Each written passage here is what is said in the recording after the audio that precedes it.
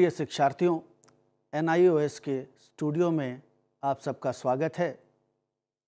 जैसा कि आपने पिछले भाग में जाना, उच्चतर माध्यमिक हिंदी पाठ्यक्रम, परशुराम के उपदेश रामधारिक सी दिनकर पाठ के बारे में।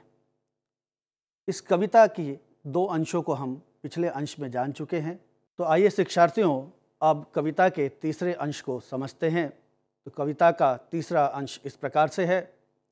छोड़ो मत अपनी आन, शीश कट जाए, मत झुको अनय पर भले, व्योम फट जाए, दो बार नहीं यमराज कंठ धरता है, मरता है जो एक ही बार मरता है।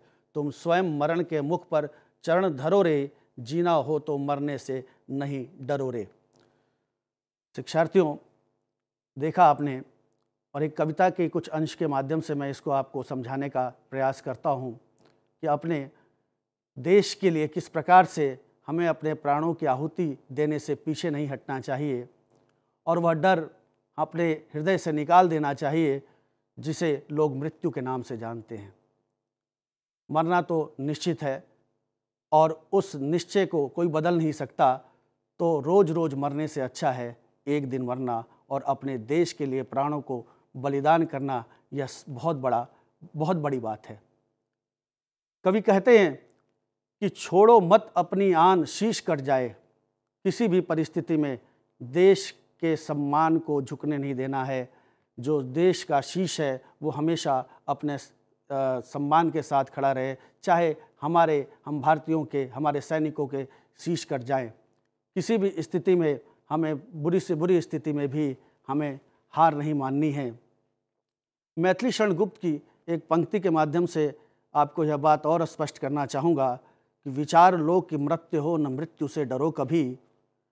यह विचार कर लो कि हम सभी जो हैं, मरणशील हैं और मृत्यु निश्चित है, इसलिए मरने से नहीं डरना है, पर यह ध्यान रखना है कि हमारी मृत्यु जो है, वो सुमृत्यु हो। वह जीवन ही क्या जिसमें हम वृथा जिए और वृथा मर गए, ऐसे जीवन को धिक्कार है अपने देश के सम्मान के लिए, सुरक्षा के लिए, अपने जो, जीवन की आहुति देना यह बहुत बड़ा पुण्य कार्य है। अनित्य देह के लिए अनादि जीव क्या डरे? यह जो शरीर है हमारा, यह अनित्य है और आत्मा हमारी, वो अनादि है। तो इस अनादि जीव को कभी डरने की आवश्यकता नहीं है और हम इसी प्रकार से इस कविता में समझते हैं कि किसी भी हालत में अन्याय, अनिति के समक्ष हमें नहीं झुकना है। अपनी आन बान शान के लिए अपने प्राणों की आहुति देनी है और इसके माध्यम से कवि जो है हमें अभिप्रेरित करते हैं, उत्साहित करते हैं। तो शिक्षार्थियों, अब इसके अगले अंश को हम समझते हैं। इस चौथे अंश में कवि कहते हैं, स्वातंत्र जाति की लगन व्यक्ति की धुन है, बाहरी वस्तु नहीं, भीतरी गुण है। नथ हुए बिना जो अशनि घात सहती है, स्वाधीन जगत में वही जाति रहती है। वीरत्व छोड़, पर का मत चरण गहोरे, जो पड़े आन खुद ही सब आग सहोरे। एक अंग्रेज़ी में बात कही गई है सर्वाइवर फॉर द फिटेस्ट जो शक्तिशाली है, जो सक्षम है, जिसमें क्षमताएँ हैं, वही सर्वाइव करता है, वही जीवित रहता है।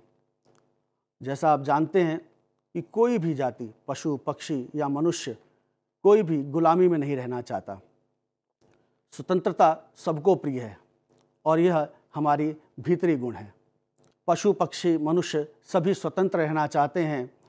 किसी भी प्रकार की चोट खाने के बाद भी, बुरी से बुरी क्षति होने के बाद भी हमें झुकना नहीं है और स्वाधीन अगर रहना चाहते हैं तो हमें दूसरों को प्रतिशोध के साथ और प्रतिकार के साथ जवाब देना होगा।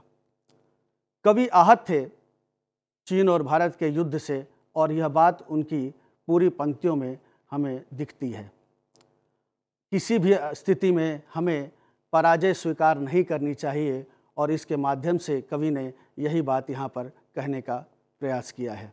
अपनी आन के लिए, स्वयं को साबित करने के लिए हमें पराजय को स्वीकार नहीं करना चाहिए। शिवमंगल सिंह सुमन की पंक्ति के माध्यम से मैं आपको यह बात और स्पष्ट करना चाहूँगा कि एक पक्षी की भावना क्या होती है कि हम पंक्षी उन्मुक्त गगन के पिंजरबद्ध न रह पाएँगे, कनक तीलियों से टकराकर पुलकित पंख टूट जाएँगे, हम बहता जल पीने वाले मर जाएँगे भूखे प्यासे।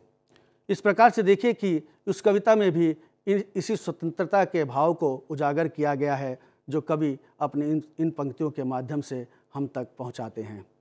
शिक्षार्थियों, कविता के अगले अंश में हम देखते हैं, पांचवा अंश, आंधियाँ नहीं जिसमें उमंग भरती हैं, छातियाँ जहाँ संगीनों से डरती हैं, शोणित के बदले जहाँ अश्रु बहता है, वह देश कभी स्वाधीन नहीं रहता है।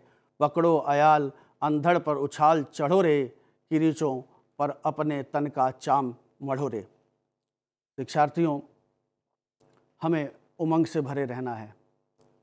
हमारी छाती सदैव तलवारों, कटारों, बर्छियों को सहने के लिए तैयार रहें। डर के जीना, वो जीवन किसी काम का नहीं है।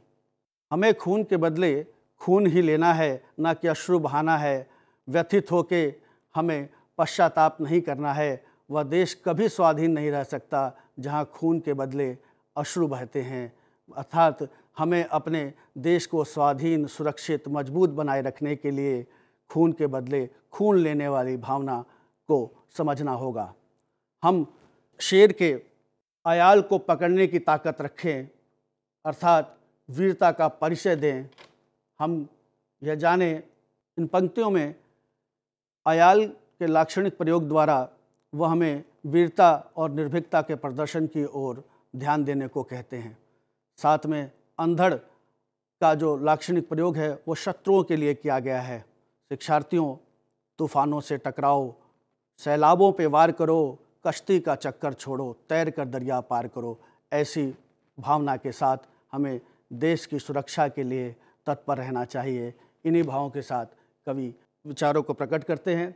कविता के छठे अंश को हम देखते हैं। स्वर में पावक यदि नहीं, वथा वृंदन है वीरता नहीं तो सभी विनय क्रंदन है। सिर पर जिसके असिघात रक्त चंदन है, भ्रामरी उसी का करती अभिनंदन है। दानवी रक्त से सभी पाप धुलते हैं, ऊँची मनुष्यता के पथ भी खुलते हैं।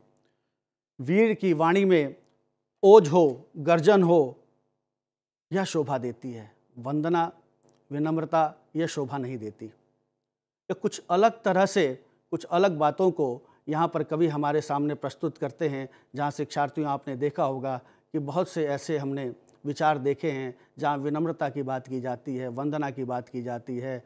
और यहाँ कवि हमें पूरी तरह से अपने स्वर में ओझ भरने की बात कर रहा है और विनय करने की बात से बुरी तरह से अलग करता है। वीर कभी भी विनय नहीं करता और ना ही विनय करने के साथ वह रोता है। अर्थात जो परिस्थितियाँ थी उस समय, देश के युद्ध में पराजय के बाद सभी देश में एक तरह से उदासी का माहौल था। ऐसे में क्रंदन को छोड़कर हमें वीरता दिखानी होगी, पुनः उठकर उस युद्ध में जीत के लिए, आगे बढ़ने के लिए अभिप्रेरित कर रहा है कवि हमें।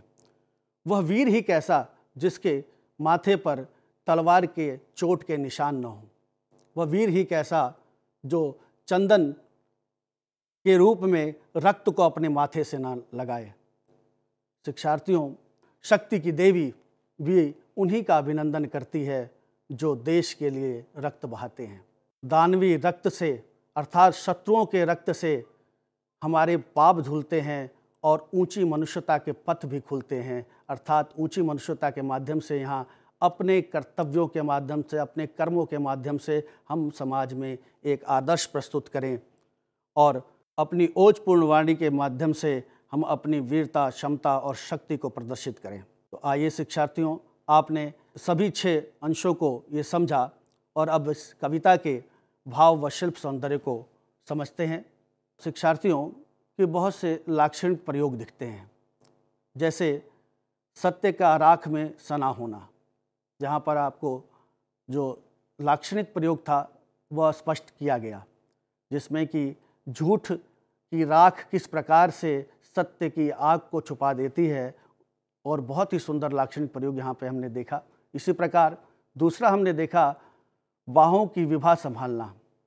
और तीसरे में देखें तो अगर चट्टानों की छाती से दूध निकालना, चंद्रमा को पकड़कर निचोड़ना जैसे लाक्षणिक प्रयोग अद्भुत और प्रभावकारी लगते हैं।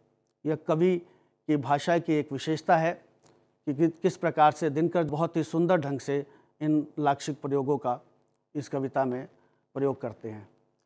देश प्रेम की मूल भावना इस पूरी कविता में दिखती है। आंधियाँ नहीं जिसमें उमंग भरती हैं, छातियाँ जहाँ संगीनों से डरती हैं, शोणित के बदले जहाँ अश्रु बहता है, वह देश कभी स्वाधीन नहीं रहता है। इन पंक्तियों के माध्यम से देश प्रेम की जो भावना है, देश के प्रति उनके लगाव की बात है, वह स्पष्ट होती है और दिखती है। इसी प्रकार हम देखते हैं शिक्षार्थियों कि इस पूरी कविता में तत्सम शब्दों का प्रयोग हुआ है। ऋतु वर्जन, विभा, शिला जैसे शब्दों का प्रयोग इसमें आप देख सकते हैं। और कविता में एक लयात्मकता है गत्यात्मकता है और ओज से पूरी तरह यह भरी हुई कवि, कविता है।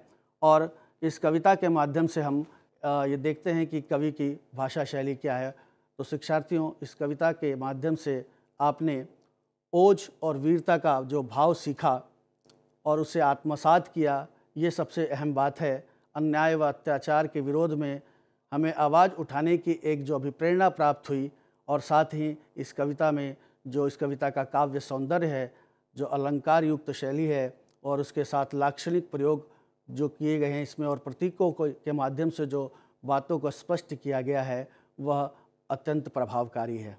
अंत में शिक्षार्थियों, हम कवि का एक संक्षिप्त परिचय जान लेते हैं। कवि राम धारी सिंह दिनकर, जिनका जन्म 1908 में सिमरिया गाँव में जिला मुंगेर में हुआ था और शिक्षा उन्होंने बीए तक की थी पटना विश्वविद्यालय से।